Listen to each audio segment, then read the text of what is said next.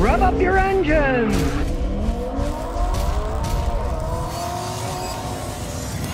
Oh, the White House is trying to save us. They just announced the sale of an additional 20 million barrels of oil to try to help the crisis. Understand one thing the United States uses 19.78 million barrels per day. So that's just a tad over a day's use. We're really talking about a spit in the bucket there. 20 million barrels, that's a lot of oil, right? Yeah, well, yeah, a little over one day of what we use in the United States. So it's not exactly a meaningful figure, but they put it out. Look at this big figure. We gave all this stuff out. Yeah, it was strategic oil reserve. They put it out there another day's worth. And of course, the White House brags, well, we've loaded probably by 40 cents a gallon. No, they didn't. It's just market forces. People aren't buying as much gas, and the price is going to come down. Like I say, like I've been saying for years, if you don't buy someone's product, they can't keep charging more money. That's just the way that it goes. These guys go by massive volume with gasoline. People stop buying it guess what? The price will come down. That's just the way that it goes. It has nothing to do with the White House. It's market forces. Nobody ever looks at what's underlying it. And it is market forces. If everybody stopped buying gasoline, the price would go way down. Let me tell you, it would go way down. That's just the way it works. It has nothing to do with, oh, look, we'll spit a little more in the bucket, a day's worth. Oh, look how it affected things. They have no idea what affected it, you know. They're just taking credit for a market force that works on its own. And it's probably a good thing that the market forces work on their own because if the government actually controlled them, imagine the mess we would be with those numbskulls trying to operate anything. Well, if you own a Kia or a Hyundai, of course, that's how you don't buy one in the first place, you might get a free engine because there are thousands of them out there that can get a free engine and you might not know about it. Actually, it's millions of people that own them. Of course, some of them are in junkyards, so it's too late then. And it doesn't matter if you're the second or third owner. They got to replace the bad engines. Now, this is 2011 to 2019 Hyundai and Kia, including, and here's a list, Hyundai Sonata, Hyundai Santa Fe Sport, Hyundai Tucson, Kia Optima, Kia Sportage, and Kia Sorento. Now, they're not all models, so you got to get your VIN number. Go to the National Highway Traffic Safety Association.gov website, put in your VIN number, it'll tell you if it's recalled.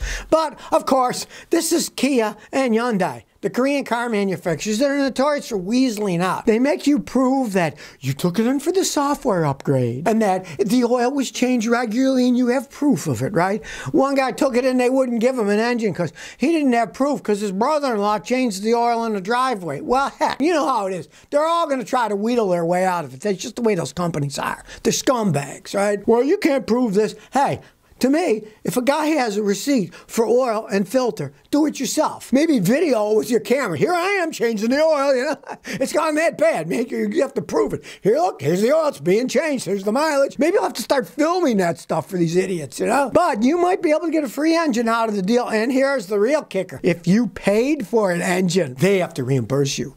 That's the best one.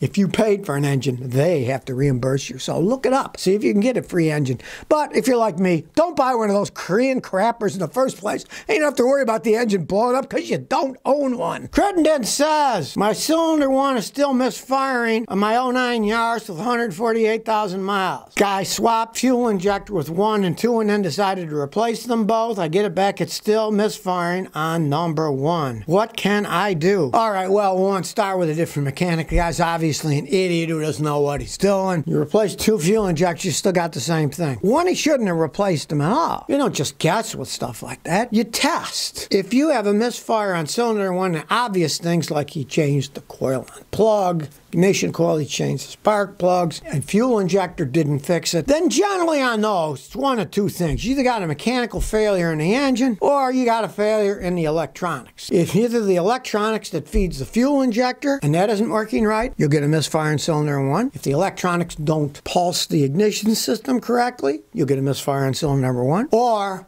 Worst case scenario, and often it's not knows with that kind of mileage, 148, the engine's flat wearing out because it's just wearing out. So what you want to do is a wet and dry compression test of the engine. You take the spark plugs out, you put a compression gauge, crank it over, see what it is. Say cylinder number one is really low and the others aren't. Cylinder number one shot, you have to rebuild the engine, you probably junk the car. It's an old Yaris, it's not worth anything, or put a used engine in it. But let's say they're all kind of similar. Then you put a teaspoon of oil in each cylinder and do a compression test wet. If the number one cylinder goes way up, that means the piston rings are worn out and you have to rebuild the engine again. So if you got a problem car, that's the best thing to start with because don't check a billion things and pay a guy $150 an hour to spend four hours checking your car. That's a four cylinder engine, so it's easy to work at. 15 minutes, you can do a wet and dry compression test and you can see it's the engine. And then you know, don't want to put another engine, I just want to get rid of the car. Emmanuel says, I got a 98 F 150 and I have an anti theft problem. I try to start it, it keeps saying theft. I want to know why this happens. Car won't start in the anti theft light is on telling you the theft system thinks somebody's stealing the car. So do my one numero uno thing, but you got to plan ahead for this, unfortunately. If you haven't done it, it's too late. Is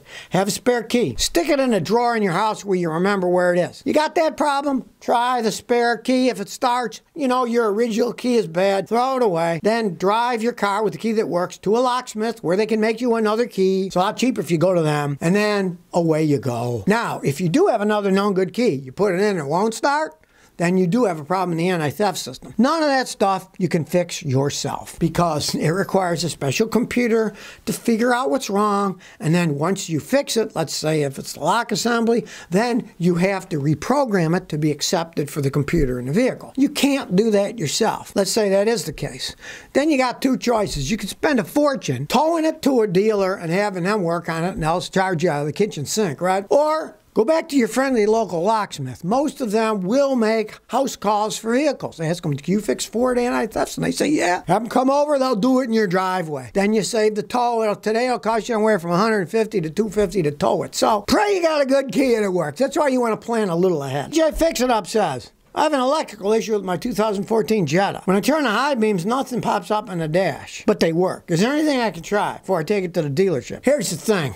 It's a 2014, right? Everything is fancy computerized, and it's not like the old days. You could just have a burnout bulb, right? But you'd have to take the dash apart. It's not all that hard on a Volkswagen. You pop plastic crap off, you can pull it out. And you used to just take the bulb out, put another bulb in, and away you go. But that has an LED. Generally, the LEDs last forever. You probably have a problem in the wiring, warning you. So my advice is go out, turn your headlights on at night. They work fine. Then put your high beams on. They work fine. Live with it. Who cares?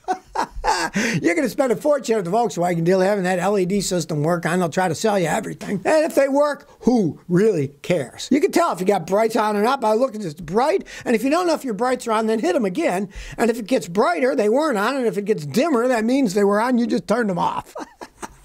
Diker 800 says, I went through an automatic car wash. Now my Honda Civic has error messages. It says, check ABS, check VSA system, check power steering. I don't have any problems with the car, but these messages, how do I get rid of them? Help.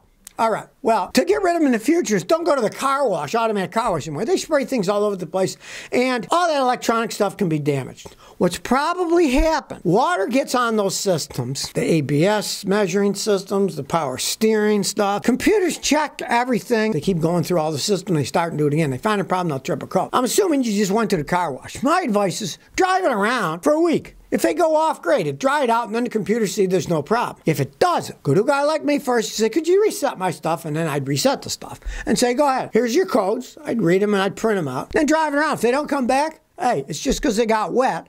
A lot of times they won't reset themselves on some of those systems. They have to be manually reset. But normally, you drive it for a week and you drive it around and it's dry. Stay away from big puddles. Don't go to the car wash anymore. And the light goes off it will reset itself if there's no actual damage other than it triggered a problem because it was wet and it gave bad data and then when it dries out and it stops it'll go back to normal. Dexter says, should I fix it or junk it? I got an 07 Toyota Avalon. It was used for a power commute of 155 miles a day for five years so it's 313,000 miles on it. I'm the second owner and I bought it as a demo with 33,000 miles. Last year I got a judder, my 79 year old father who I gave the car to took it to a Pep Boys and they wanted 6,800 bucks including replacing the entire steering column. I don't want to put more than two grand, or should I just junk it or sell it to charity? All right, well, numero uno. Find a guy like me in your area to look at it. Those are well made cars. Understand the service writer at those chain repair stores generally gets a percentage of the profit on each deal. So you get your car fixed. If the bill's 6800 bucks, maybe he gets 2 3% of that, right? So of course he wants the highest bills possible. I doubt that your vehicle needs $6800 worth of work. The Avalons can run a really long time. There might be a little wear in the steering column, but $6800, I think the guy's out of his mind. Get a guy like me to analyze it first. That's a problem with a lot of these places. They'll say, "Hey, bring it in. We check them out for free." And then they try to sell you the kitchen sink. So, start by going somewhere else. So if you never want to miss another one of my new car repair videos, remember to ring that bell.